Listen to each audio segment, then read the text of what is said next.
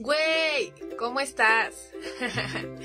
Hoy vengo a hablarte del microscopio, o sea, de mí y de mis partes. Mi nombre deriva etimológicamente de dos raíces griegas. Micros, que significa pequeño, y escopeo, que significa observar. Estoy compuesto principalmente de tres partes.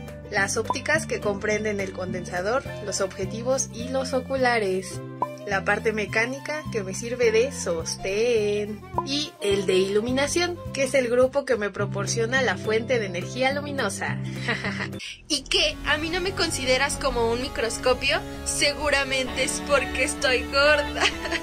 Relájate, Lupa, tú sabes que eres un instrumento subjetivo. Claro, estoy formada por una lente convergente, destinada a la observación de los detalles en objetos próximos. Exactamente, así que usted no se me esponje.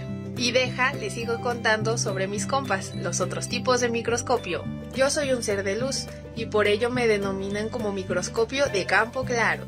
Jajaja. Una de las reglas principales es que las preparaciones que se vayan a observar deben ser delgadas con un grosor de 5 a 10 micras. ¿Qué pasó, carnalito? Ya escuché que estás hablando de ti. Deja que me presente porque yo también soy importante. ¿Qué onda, amigo? Claro que sí, adelante. ¿Qué tranza banda? Ya llegó el mero mero. A mí me llaman el microscopio de campo oscuro. Y no, no es porque yo sea negro. Bueno, sí se me denomina así porque la imagen que se forma está constituida por una serie de estructuras brillantes sobre un fondo oscuro. En mí se observan principalmente células vivas, como las bacterias y las células descamadas, en las cuales no se han aplicado sustancias fijadoras ni colorantes. Escuché que se está armando la convención de microscopios. No puedo faltar yo, el de fluorescencia. Así es, amigo, pasa a iluminarnos con tu sabiduría, cual condensador, a una muestra por analizar. Eres bien gracioso. ¿Quieren ver mis tenis? Fosfo, fosfo. En fin, me presento. Ciertas sustancias naturales o artificiales poseen la propiedad de que cuando son estimuladas por energía de cierta longitud de onda, emiten fluorescencia.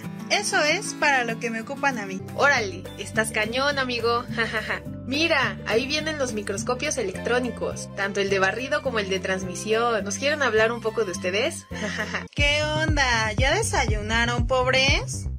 Se crean. No se sientan mal, pero nosotros somos la crema innata de la microscopía. Tanto mi hermano de transmisión y un servidor. Tenemos un mismo fin en común, ya que poseemos un mayor poder de resolución, güey, lo que permite la observación y caracterización de materiales orgánicos e inorgánicos, dando información morfológicamente eficiente, como en este caso el coronavirus. Todos servimos para avances científicos increíbles. A través de nuestros lentes se ha llevado millones de descubrimientos.